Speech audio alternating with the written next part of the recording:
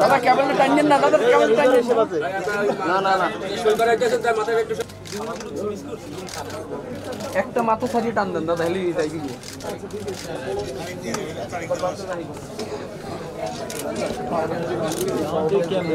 ভাই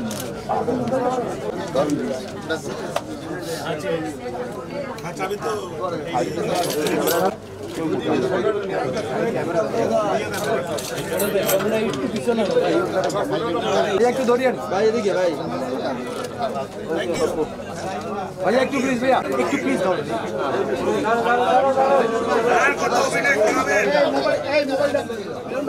ভাই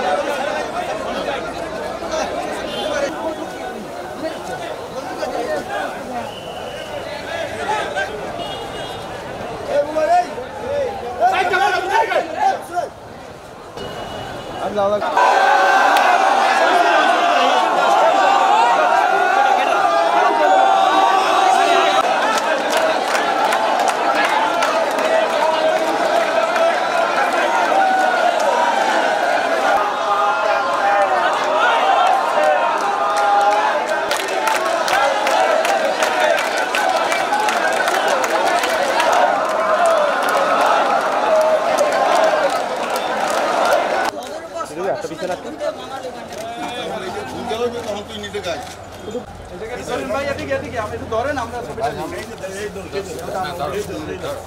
কার্যক্রম আমার দায়িত্ব হস্তান্তর করলাম আমাদের প্যানেল মেয়র ওয়ান, তার কাছে দিয়ে গেলাম দায়িত্ব।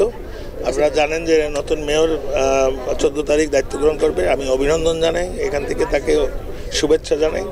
সে যার, তার কার্যক্রম যেন সঠিকভাবে বরিশালবাসীর সেবায় যেন সে নিয়োজিত হতে পারে এবং তার জন্য যত ধরনের সহযোগিতা আমি সাবেক মেয়র হিসেবে আমার আমার পক্ষ থেকে সব ধরনের সহযোগিতা তার প্রতি থাকবে। জনগণকে বলব আমি মেয়র হিসাবে মেয়র হিসাবে এতদিন ছিলাম, আজকে আমি তাদের কাতারে যাচ্ছি, জনগণের কাতারে ছিলাম আমি, আছি। ইনশাল্লাহ ভবিষ্যতে যতদিন বেঁচে থাকব, বরিশালের জনগণের সাথে থাকব। দুর্নীতি হচ্ছে যে সবচেয়ে বড়, আমি মনে করি, দুর্নীতিটা হচ্ছে যে যেহেতু এটা স্থানীয় সরকার একটি প্রতিষ্ঠান, এখানে শহর থেকেই টাকা আমরা কালেকশন করি এই নগরের পিছনে এবং উন্নয়নের পিছনে যে ব্যয় করি, ওই টাকার, ওই ওই জায়গাটা যেহেতু ক্যাশ অনেক হ্যান্ডেলিং থাকে সিটি কর্পোরেশনের একটা পুরোপুরি একটা ক্ষমতা থাকে মেয়রের সাইনিং পাওয়ার থাকে। তো সেই জায়গায় হচ্ছে যে আপনার দুর্নীতিটা আমি মনে করি সবচেয়ে বড় এখানে চ্যালেঞ্জ দুর্নীতি মুক্ত করা গেলে পরেই আপনি অবকাঠামোগত ডেভেলপমেন্ট বলেন সাস্টেনেবল ডেভেলপমেন্ট বলেন সব কিছুর পিছনে গোড়াটা হচ্ছে যে শক্ত যদি না থাকে, আপনি যতই উপরে আপনি বিল্ডিং উঠান আলটিমেটলি ইটস জিরো সো সেই জায়গা দিয়ে আমি মনে করি দুর্নীতি মুক্তটা হয়েছে যে মূল। আপনি আমেরিকার মতো উন্নত দেশ বা- ব্রিটেনের মতো, লন্ডনের মতো জায়গায়ও ওখানে সিটি কর্পোরেশন কোনো জায়গায় দুর্নীতিমুক্ত হান্ড্রেড পার্সেন্ট দুর্নীতিমুক্ত না। এখন কত পার্সেন্টেজ কত কতটুকু পার্সেন্ট আপনি কমাইতে পারছেন? যত যত আপনি এটাকে সহনশীল নিয়ে আসতে পারবেন, অতই জনগণের জন্য এটা খুশিকর বা জনগণের জন্য এটা মানে উপকারদায়ক এবং সিটি কর্পোরেশনের জন্য এটা আমি মনে করি ভালো। সফলতা জনগণ এটা বিবেচনা করবে যে সফলতা বিফলতা না এখানে আমি তৃপ্তি, ওইটাই যে আমার সাথে বরিশালের সাধারণ নাগরিক যারা, তারা সবাই সহযোগিতা করছে, তাদেরকে আমি ধন্যবাদ জানাই।